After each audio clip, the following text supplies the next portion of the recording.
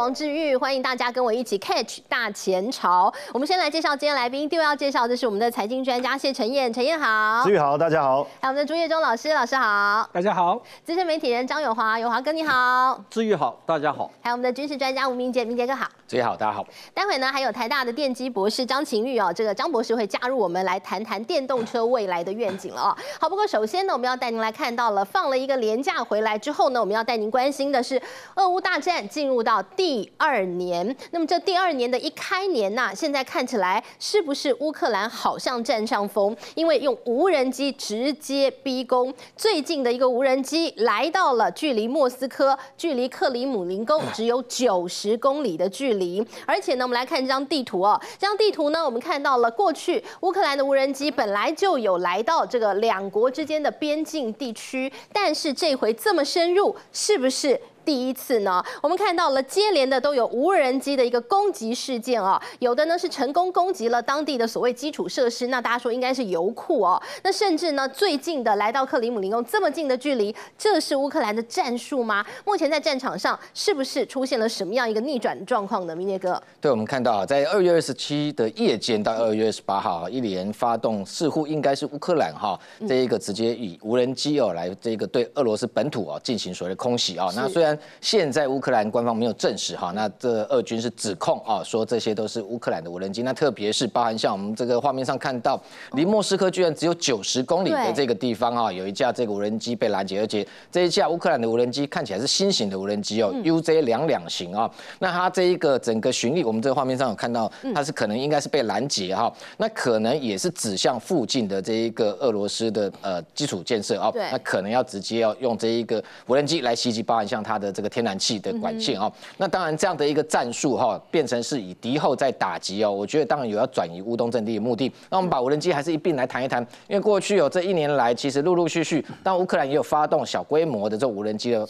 袭击，那大部分在这一个我们看到乌克兰跟这俄罗斯边界哦，这个布扬斯克或者是这个贝尔格罗德州哦，因为这个距离比较短哦，那其实频频传出那有这一个包含像直升机哦，以低空。这个呃，等于路径去打击都有哦。那这一次是变成距离比较远，而且特别这一次离莫斯科只有九十公里哦，甚至比上一次哦，在这个呃，等于说打击他的这个基地，那等于这个空军基地有这个图九五被毁了，那一次七百二十四公里可能要来得更远。对，换句话说，乌克兰已经手中应该已经装备比较长程的这种无人机哦。这是最靠近克里姆林宫、最靠近普丁的一次。那这个动作当然让这个普丁跟俄军哦，非常的这个胆战心惊。其实先前我们已经看到哈，这个俄罗斯俄军已经把这个铠甲 S One 防空系统直接放到什么？放到俄罗斯的国防部大楼的楼顶啊，在那里做防备。那普丁的官邸附近也部署了很多防空系统。其实他们也早就担心说，乌克兰非常有可能用无人机来突袭。那果不其然啊，那在这个开战这个满一年之后，开始有这样的动作。对。那还有包含像最难的部分，这次比较观察到比较特殊是说，连黑这个靠近黑海的这个港口哦，凡凡塞堡附近大概以东哦，这个地方油库也被炸。对。那这当然。中间我认为啦，哦，有部分是无人机，有部分应该是这一个乌克兰的特工部队做敌后渗透啊，从地面来进行。这不是应该是这个俄罗斯应该要重金部署，保护最严密的地方？没错，但是其实这个领土大有一个缺点哈，那它很多的地方防不胜防，你有那么多的，对你有那么多的这一个据点可以打击，那其实乌克兰的选择性很多哈，那所以等于说它防不胜防的情况之下，其实每一个地方都很有可能被突袭。那还有包含打到这个俄罗斯的南面啊。这个叫这个拉斯，这个诺达，还有包含像这一个阿迪。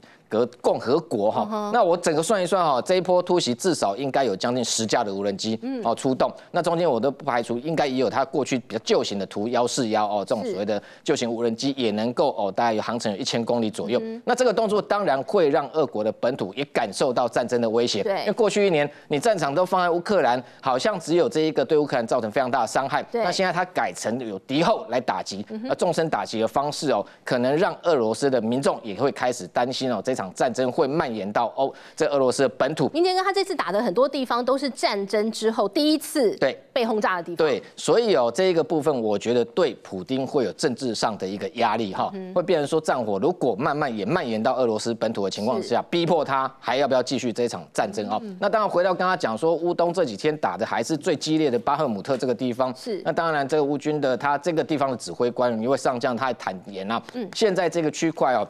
确实很多的战略要道被这个俄军给这个占领啊。那我们过去讲到说，这个他俄军用这个瓦格纳集团不断的穷轰猛炸、人海战术哦，想尽办法把重兵全部要把它当成一个箭头，要从这里突穿。但是打了一年哦，其实真正的战略要地是旁边哦，西面有一个这个斯拉呃斯洛夫维呃杨斯克，还有另外一个克拉马托尔斯克，到现在一年都拿不下来哈。所以其实这个地方只是就算被他拿下来，这一个政治上象征的意义，但。普京就可以拿这个来大肆宣传了，表示他又有这一个新的斩获。但实际上军事上来讲啊，基本上这个地方就算被俄军拿走，对乌克兰来讲，虽然。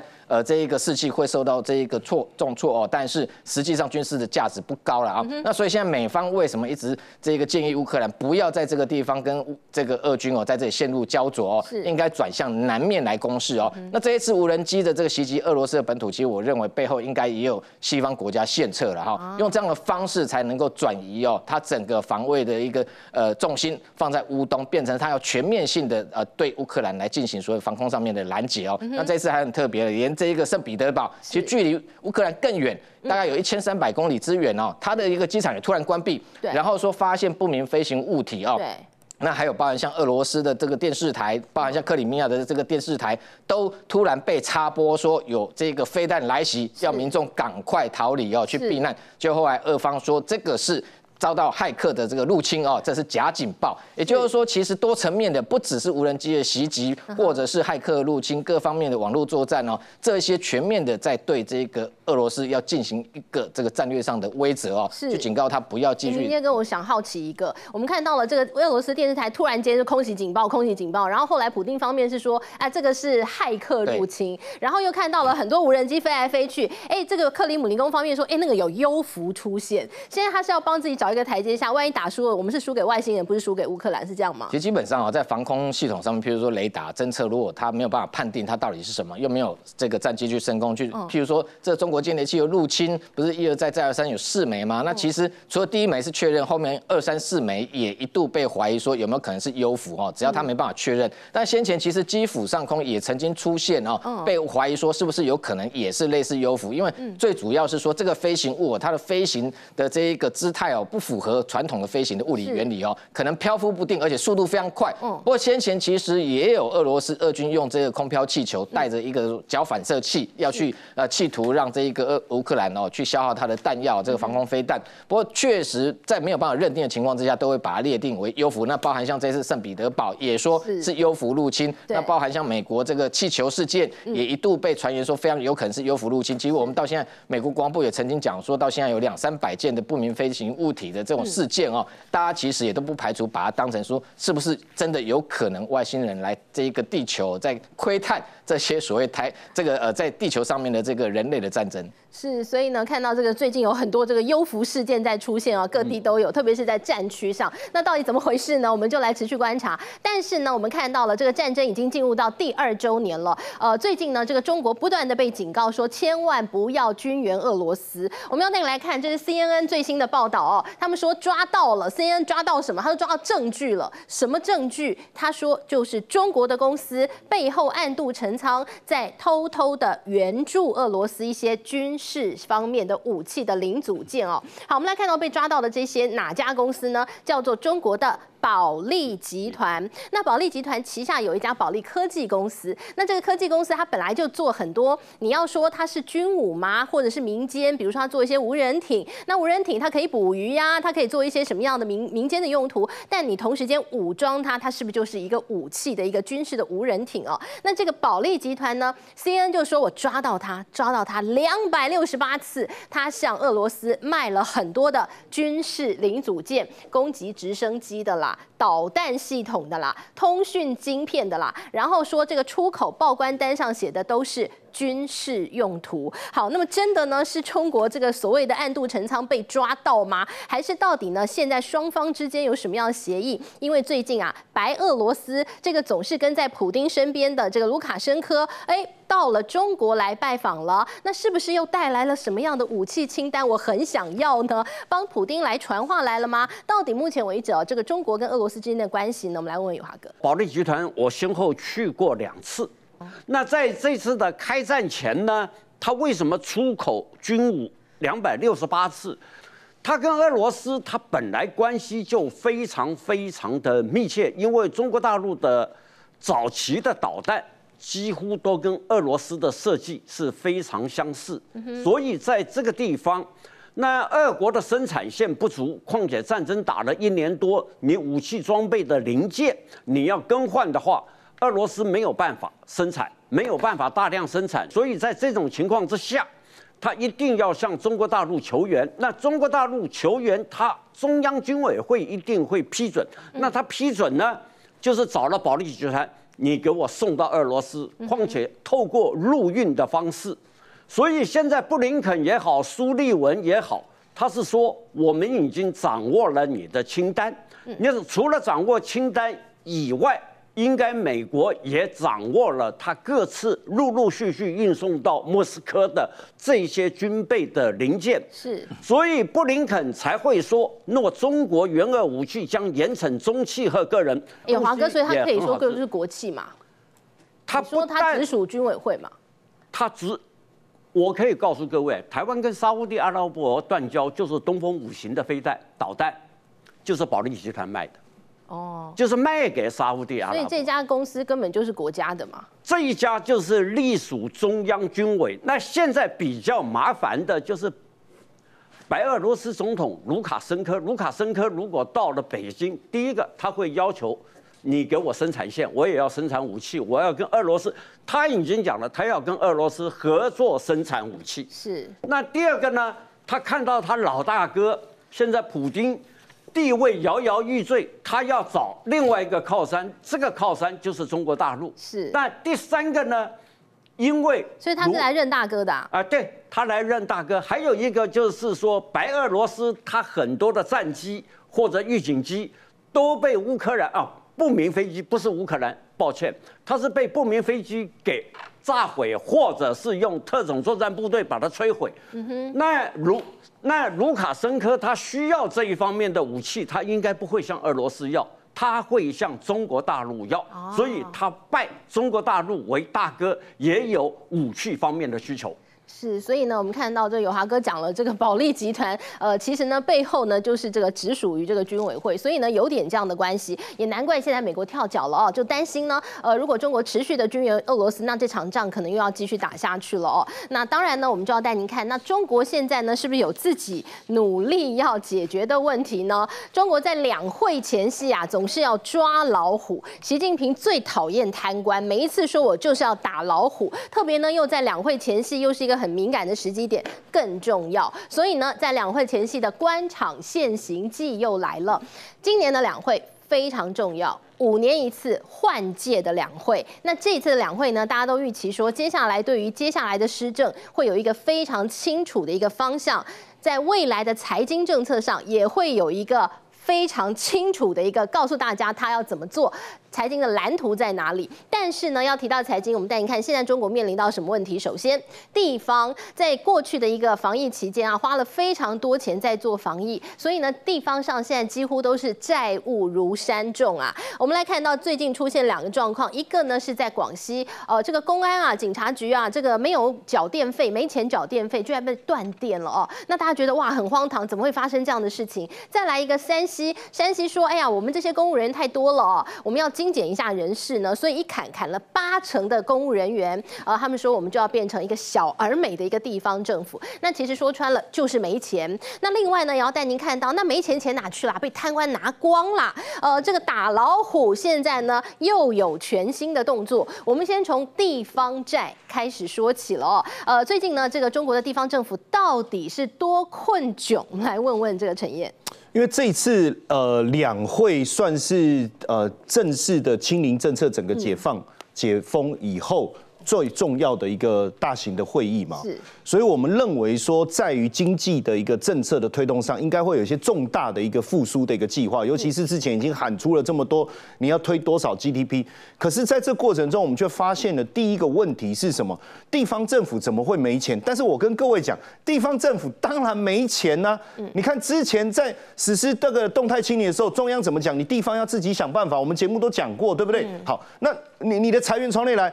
我我真正的那个生前的鸡蛋就是我的那些建商嘛，嗯，我的金主你又把我给砍死了，对，所以我第一个我没有裁员嘛，我要不断的一个这个支出嘛，是。所以你说现在连欠电费这种事都浮到台面上来，丢不丢脸？可是事实上是这样嘛，因为你动态清零，你 PCR 这边全部要自己来，地方政府又没有裁员，那我要跟民众纳纳税，这个税从哪里来？其实都有很多的争议啊，是所以这个一欠哦，这个是呃广西公安厅哦 被断电，欠了超过两百万台币的一个电费，这个一定是累积的啦。对哦，当然很多网友就。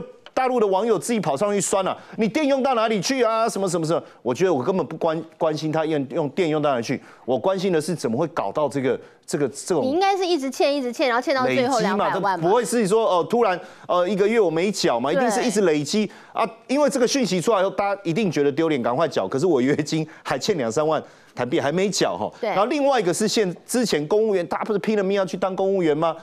很多的人口小县。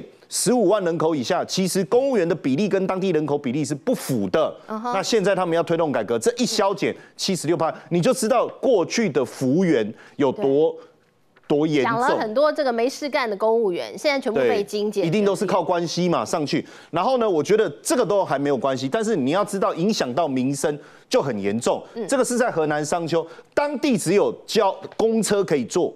是只有公车可以坐，所以这个绝对是地方政府在营运的。那你现在营运到现在，它亏损太严重了，然后政府补贴又不到，那怎么办？它只能停，停了你要民众怎么办？没有公车，它没那那边是没有什么地铁啊这种东西的所以。政府没有钱到公车也没办法没办法补贴，那你没办法补贴我，我业者没办法营运啊！你就这么一家，你还营运不了？那怎么办？大家怎么办都只好用走的。对，所以这个问题非常非常严重，而且我们也发现说，这个目前整个地方政府的债务高达三十五兆是人民币哦，不是台币哦，是人民币，这个很惊人的数字。对然后你欠钱没关系，欠钱你还要付利息对哎，利息一兆哎。怎么付哦哇？那现在这么大的一个金额，你看一百五十六兆台币，利息支出五兆台币，有十七个省市有十七个省市怎么样？是我的债务跟我的财政的来源，其实已经超过一百二十趴。简单来讲，就是入不敷出嘛。就是破产的意对思。，那当然现在你就要当官，你就要自己想办法，对不对？所以我们刚刚看到这些都节流，因为地方政府没钱，但是他们要开源，要想办法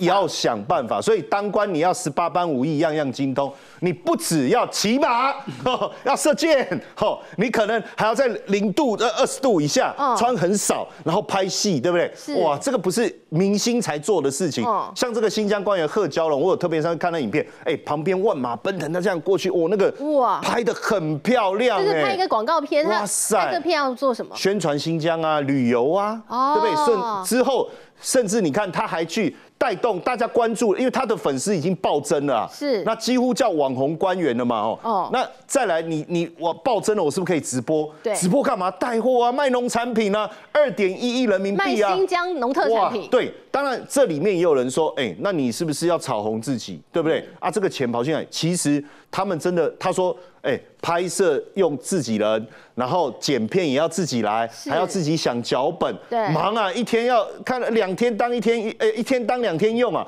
包括这个文旅局长啊，我我特别上去看他整个拍摄过程，哎、很冷哎、爆冷哎、然后穿短袖哎、哦。哇，我这个很很猛哎、重点是还真的长得蛮漂亮的。所以他真的是在宣传他们的观光，真的是在宣传观光，嗯。所以有包括，当然这个这个是四川的文旅局长，他扮成太空人哦，是。然后然后希望宣传大家去这个地方旅游，嗯。当然有没有可能把整个比如说农产品带起来，旅游带起来，我觉得很有机会，是。可是从这边我们已经看到一个很诡异的一个现象。就是说，这些地方政府官员必须背负起这个赚钱的任务，是那你变成是内卷哦，嗯不是往外宣传哦，所以是不是代表整个地方财政的问题非常的严重？是我们也希望。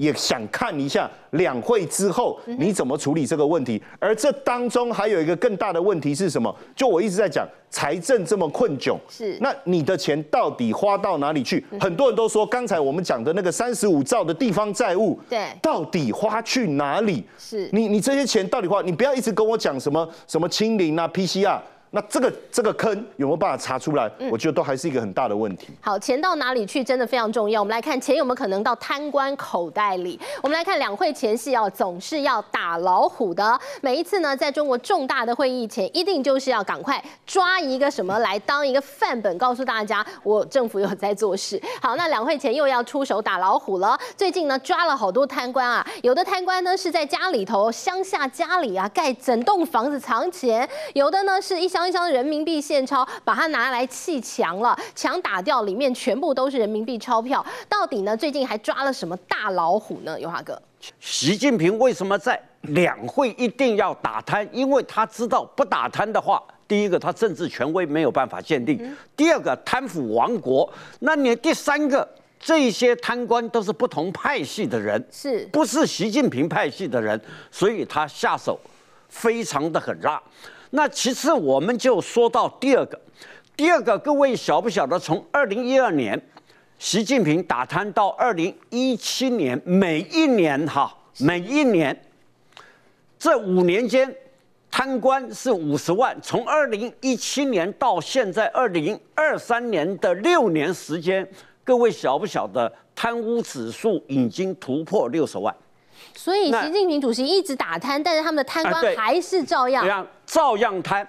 我们先来讲这个渠县，渠县是一个浙江浙江比较是乡下的地方，他是县委书记兼县长，嗯，所以你要办任何的事情，他要给你开绿灯，对不起，你要提供给我什么消费卡、金额卡、贿赂等等，哦，所以呢。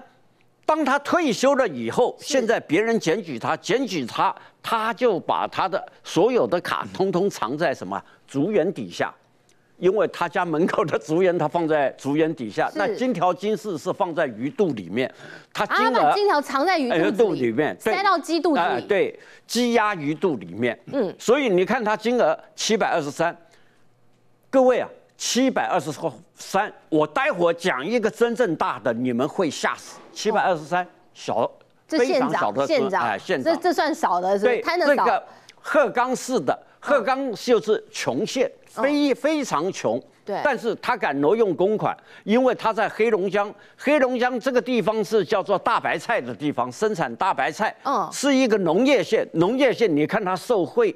七千万，七千万哎，七千万人民币，穷穷县，对，他挪用公款三千万，加起来一个亿。嗯，那这个湘这个湘潭的呢，他只不过是人大常委副主任，是。副主任叫做傅国平。哦，那湘潭这个地方呢，我去过两三次，很好玩的一个地方。哦，他把现金哈，通通放在他们家的顶楼，顶楼上面弄一个夹层，弄这个夹层干嘛？当做墙壁，嗯，就是夹层后面放钞票，是。前面你把夹层弄掉，全部都是钱，才五千三百四十九万现金，就是人民币，哈哇。那我现在讲一个大连的，各位就知道这个人的名字叫做徐长元，那他的职位都不如他们哦，他们的职位哎，这个都县委书记啊，书记很大，对。那我碰到的一个叫做徐长元。他在大连区，大连是中国大陆非常富庶的地方。对，各位晓不晓得，他只是一个区里面管公投而已。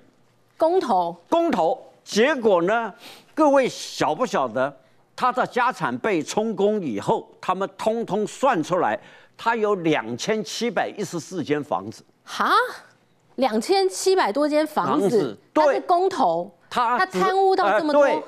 他最多最多，如果用那个我们拿那个云林县你来算，他最多只能算是一个局的局长而已。局长，小小的局长，他可以有两千七百一十四间房，然后呢，一百四十二台车，哇，都是豪车哦。哦，但是但是呢，他贪的钱多少？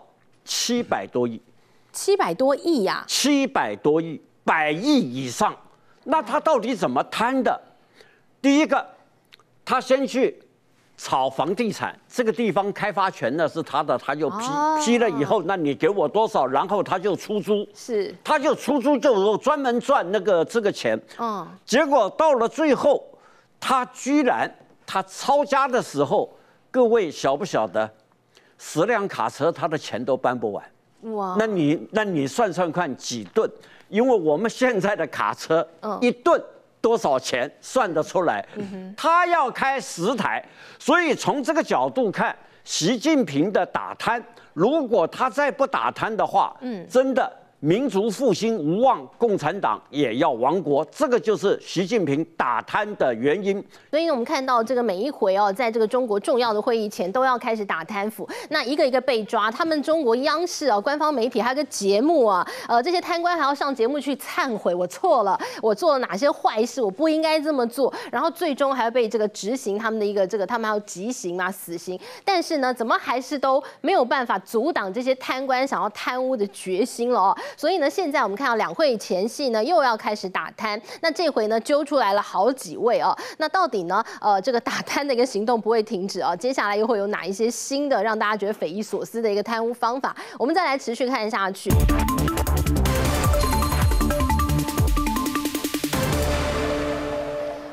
们带你看台积电沦为人才的一个训练场所，这怎么回事啊？最近我们看到有人这么说，呃，台积电在美国厂呢，因为不断不断的传出台湾籍的员工好辛苦哦，从早做到晚，责任制；美国籍的员工呢，哎，这个时间到了，拍拍屁股走人，也不交接，怎么会有这样的文化差异呢？那于是呢，我们看到就有人讲了，那现在台积电送了这么多呃，经过这个非常好的训练的一些高阶的这个工程师的人才到了美国厂去，哎，美国厂离英特尔的厂那么近，英特尔给钱又不手软，会不会最后啊，这个合约期到了之后，这批人全部被英特尔挖走，就变成了人才的跳板了？会有这样的一个状况吗？朱老师，你的看法？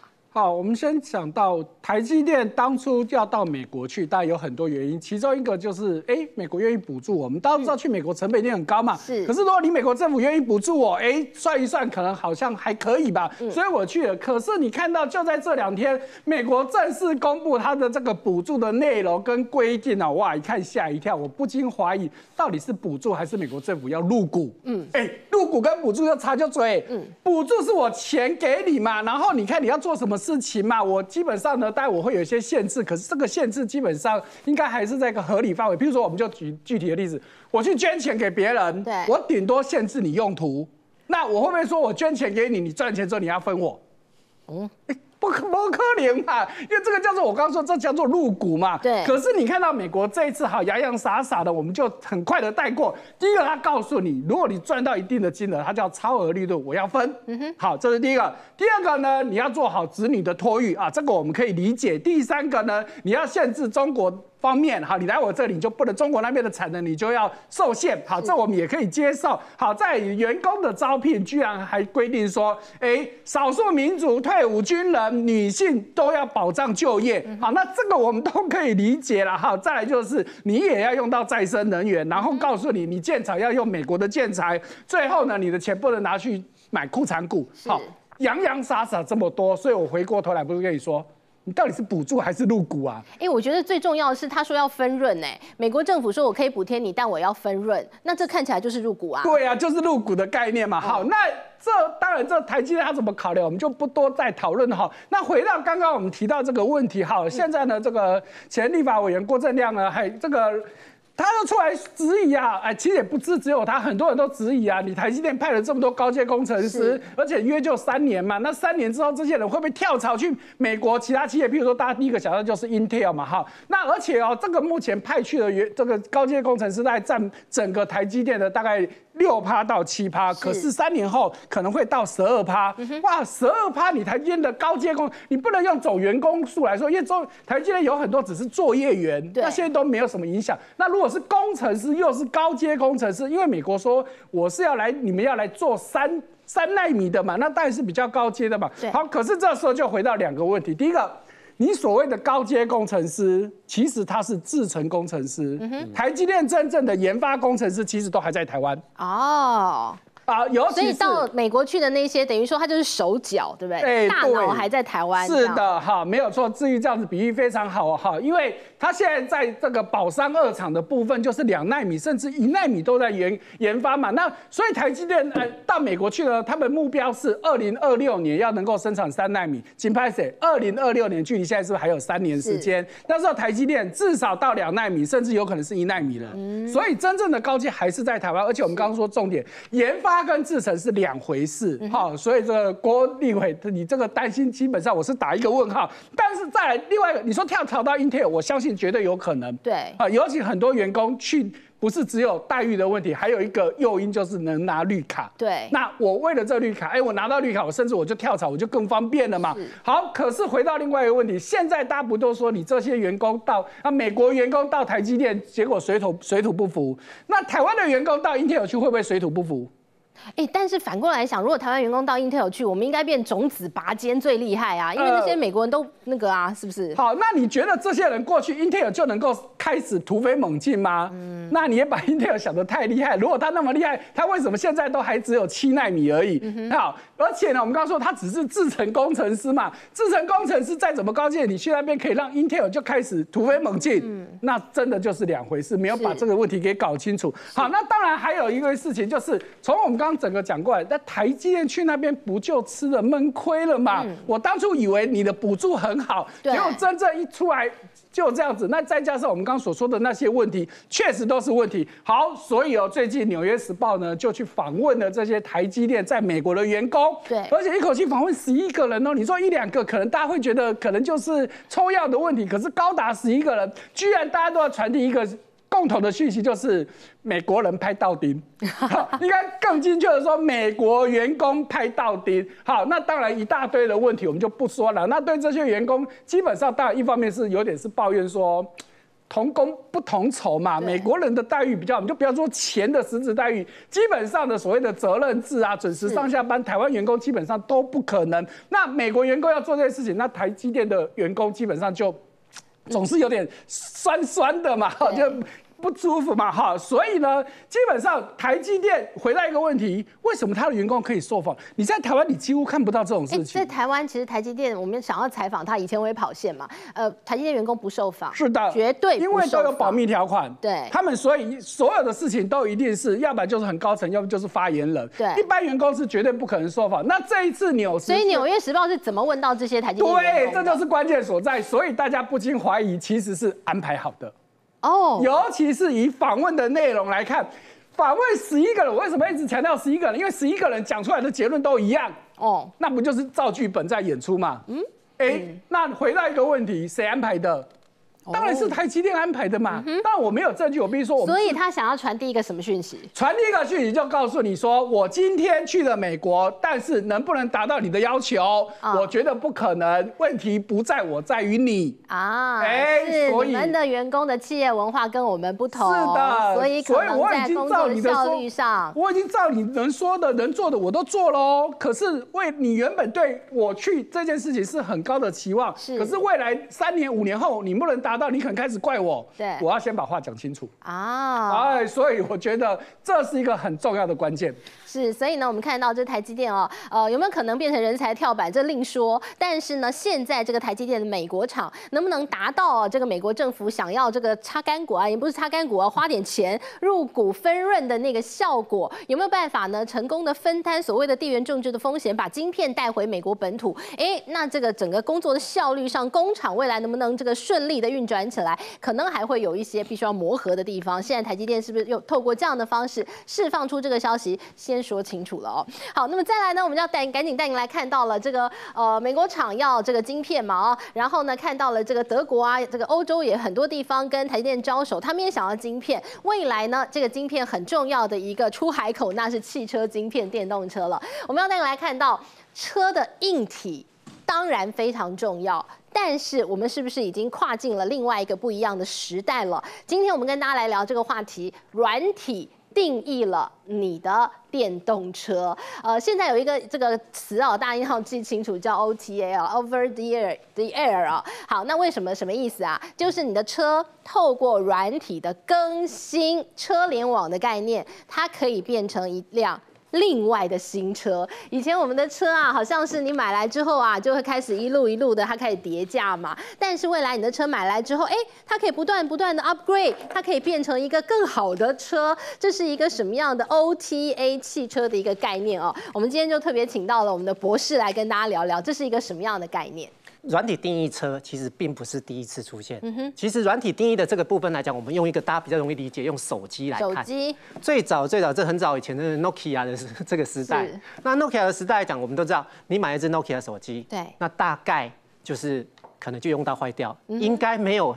特别去做什么样的样子的更新？是对。那可是呢，跟我们现在不一样。我们现在手机有各种功能，而且三不五时可能就跳出一个这个作业系统要更新，要要更新。然后要么就是安全性的问题，然后可你的，所以每次更新之后，你的手机其实又可能增加一些新的功能进来。那我们先看一下，哎，就像刚刚志玉讲的，最以前的说法就是车子车况最好的时候就是在买新车的时候。但是呢，哎。可是以后呢，每次可能只要有一个新的更新，你可能就会觉得，哎哎，怎么又有不一样的体验，或者是哎，可能有更有更贴心的功能，好像又换一辆新车的感觉。只要你的硬体能够维持的好的话，是。那基本上它就是透过软体。定义这样的一个方式来做升级，那再来就是说，就像我们现在手机有很多的 A P P，对，那这些 A P P 以后车子也会有它自己的 A P P 哦。你要可能要什么样子的模式，或者是什么样子不同的功能，可能它也会有这样子的一个 A P P 的概念。比如说我想要下载一个自动停车 App，我就下载下来，它就自动停车，对可能它这样比较需要，那可能有的人希望是跑车模式，我就下载这种相关的跑车模式。对，因为它可以再去透过你的这个软这个硬体的调教。哦，对，那所以呢，根据这个。这个研究机构来讲，这个 OTA 的这个市场在二零呃，在二零二零年大概是二十八亿多美金，然后会成长到二零三零会有一百四十四亿的美金这样子的一个成长，是大幅的成长。那再来我们再来看，呃，就是透过 OTA，那其实我们都知道，传统的就是我要开着我的车到车厂去才能做更新的一个升级。对。那这个来讲，你可能假设，譬如说你的原厂是在国外，对，可能还要需要。哎，不好意思，因为下载的这个网络关系或者有什么样子任何的一个问题，可能还没办法马上更新给你，你可能车子还要留在车厂。是。那但是呢，现在透过 OTA 的这样的一个升级，就像就像我们手机的概念一样，哦，你可能放着这个隔夜。早上起来就发现，哎，他已经帮你更新好了。所以我只要睡前我把它按下去更新，早上起来就是一辆新车在等我了。对，它可能很多就有一些新的功能。那其实呢，它相对来讲就是它不需要透过 OTA 方式，它不需要额外这些增加成本。而且，如果各位知道，如果我们这个车厂。要召回，有发生任何的问题需要召回的时候，那其实都是一个非常大的成本。对对，那今天我如果可以透过 OTA 的方式来做这样的更新或调教，那其实对车厂来讲也是省了非常非常多的。以前有瑕疵，你车要召回了，重新搞定，对不对？现在不用了，你就知道有瑕疵就告诉所有的车主，现在请你重新更新，是就搞定了。是这个其实就像之前特斯拉也有在几年前也有就是。呃，刹车的问题是，然后一样透过 OTA 就把刹车的这样的一个距离就可以缩短下来。是，对，所以这个是呃，这个 Tesla 的软体更新，它一直有在软体更新。是，而且 Tesla 的软体更新的版本其实非常的频繁。哦，它其实三步时可能就有一些呃，可能就是有 user 反映，哎，希望有什么样的功能，是，那它可能。整体评估之后，它可能就把它加进来。这都不要钱吗？呃，对，目前这些这些的更新都不用钱。那像它之前其实就增加，就是说，譬如说像我们有时候在紧急刹车的时候，它现在就是增加一个功能，就是你紧急刹车的时候，那个后面双黄灯它自己就自动帮你闪。哦。我们以前可能紧急刹车的时候，你可能要赶快怕后面的人追撞。对。所以赶快再去按闪那个双黄灯。现在不用。它只要侦测到你是自紧急刹车的状况的时候，它就自动闪双黄灯。是对，所以其实这个也是透过 OTA 升级的这样的一个方式。哦那目前除了 Tesla 之外啊，其实有很多的车厂都开始在这个 OTA 的部分做了很多的努力，对不对？是。我们来看目前有哪一些国际大厂，请这个博士帮我们看一看哪些厂。呃，我那天看到一个新闻，它很有意思，他说，呃，我这个下载一个新的软体，然后我电动车的电池就变大了，是因为它把它的效率变得更高。所以呢，你不用去真的换一个什么样的。电池，我只要下载一个新的软体，它的电池的效率就变得更好。未来是不是都会进入这样的一个状态？目前有哪些车厂做了哪一些的这个软体更新的部分？好，其实应该说，其实各大车厂，包括像呃，福特，然后福斯、B N W，然后 Benz 这些车厂，传统的车厂，所有大家都要转型为电动车这样的一个车厂，其实也都自己一定开发自己的系统。嗯，那同时除了这个以外呢，还有很多所谓国际车厂相关的，像譬如说像像那个 Harman，就是他原来也是做音响、做喇叭的。对，哎，其实他也有并购了这个。这个软体公司也在开发 OTA 的这样的一个技术哦，然后呢，所以它的 OTA 是下载之后，它的那个环绕音响更棒，是不是？它呃，它除了呃这个同同时还有所谓这个呃传输的时候，因为 OTA 其实另外一个在延伸的问题就是我是透过。这样子 air 这样子的一个传输，哎，治安的问题呢？哦，会不会有骇客的问题？我今天如果骇客 hack 进去你的系统，然后把所有的车子在一夜之间 OTA 升级成它可以控制，哎，这是很可怕的一件事情。所以在治安上来讲，其实也是接下来大家要去讨论或去注意的地方。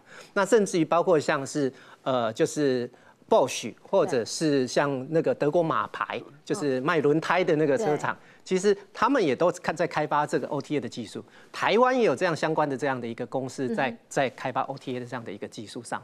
那其实整个的 OTA 的这样的技术，其实会是在我们接下来在买车子的时候，哎，会是我们一个考虑的点，因为它有这样子的一个 OTA 升级，表示它有注重。或者是非常的关心使用者的需求，然后可以来做这样子的一个调整，其实会是大家所 user 或者是车主在买车的时候一个重要的一个考量。是，所以呢，这个博士来今天跟大家介绍这个 OTA 的概念哦，未来软体定义一切哦，电动车又格外是如此哦。呃，未来的 OTA 呢，可能可以颠覆你的想象，因为当一辆车呢，它会有这个上千个晶片的同时，每一个晶片都可以 upgrade 哦，那所以呢，它可以赋予这辆车更多的可能性了哦。所以呢，哎，以后买一辆车，但是呢，你不时的更新它的软体，哎，你就每天都有全新的一个用车体验了。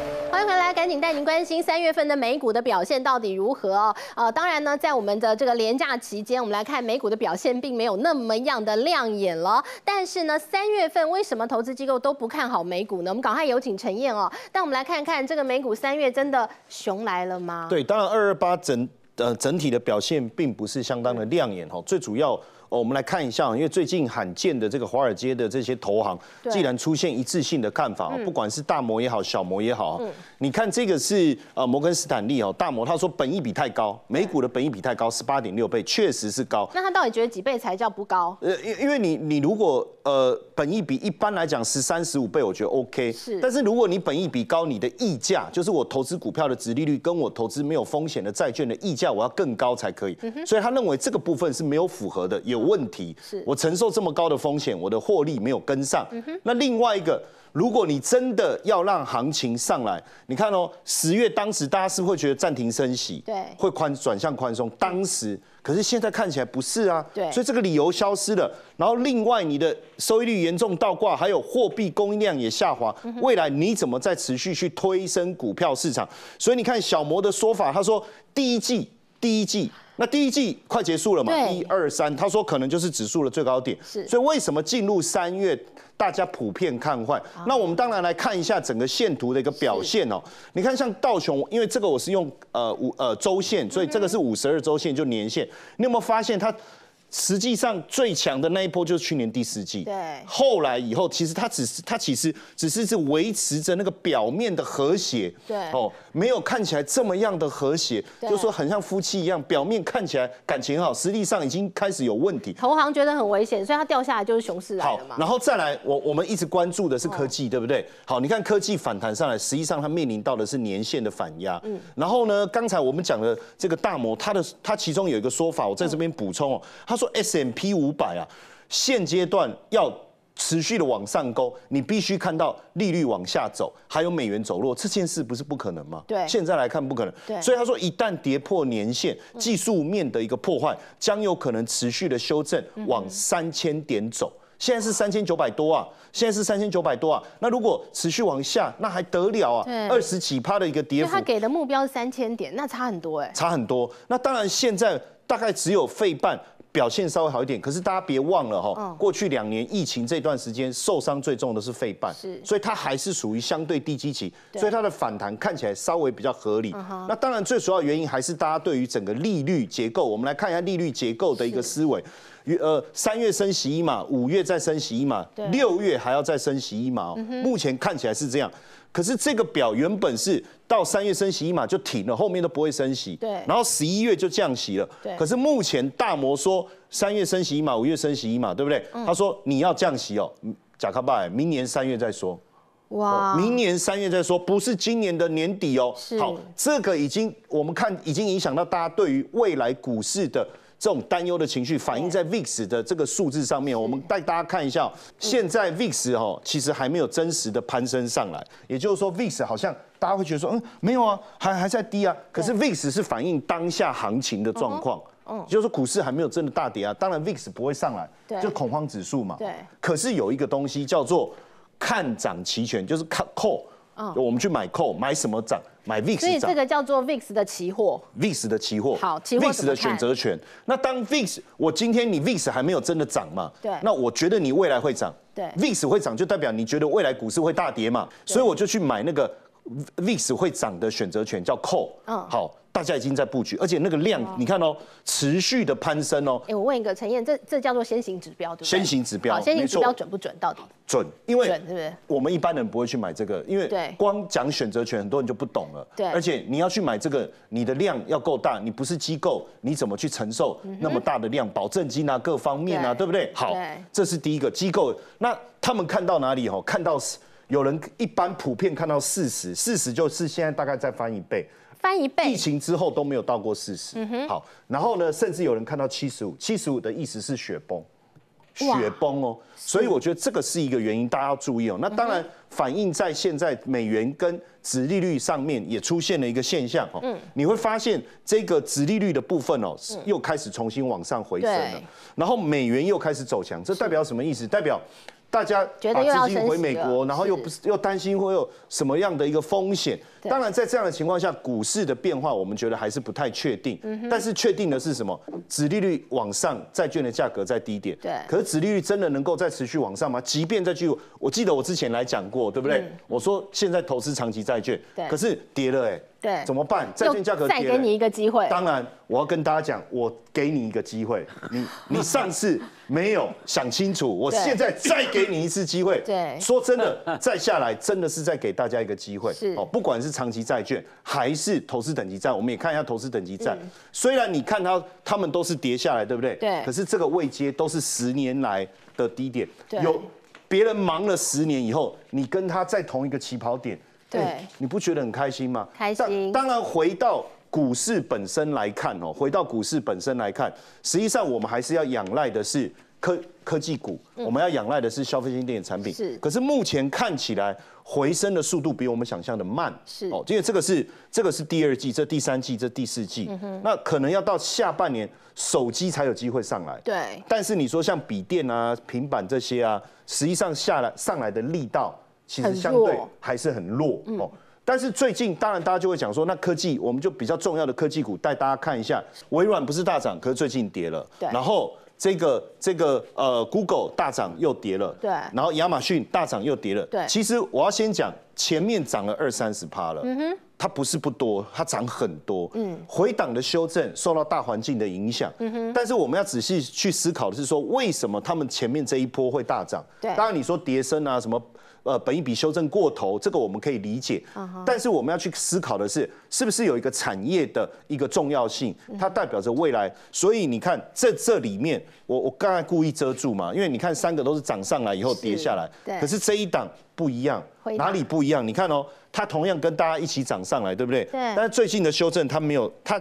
停一下下，砰一个又冲上去了，对，太可怕了。这是什么？回答，就 NVIDIA，对，他在做什么？做 GPU，他在做绘图晶片，他在干嘛？未来的 AI 的产业，对，未来的这种机器人的大军，这个产业明是趋势是明确的，是。所以我觉得现阶段来讲，美国的一个呃科技股的一个表现，要马上上来有困难，但是你要从里面去找到产业的亮点，是。那跟您。